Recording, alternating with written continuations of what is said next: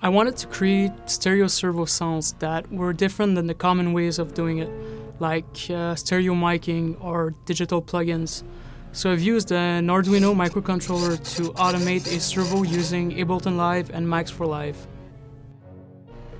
Since it's automated, you can record multiple takes, and even though the takes sound similar, they're always slightly different. I use those takes and hard pan them to have one take on the left channel and one on the right.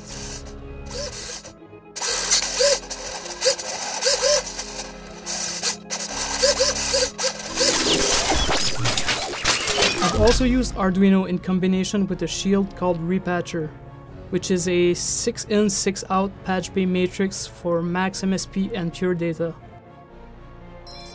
I've used it to control a custom FM patch which has different delays on each output.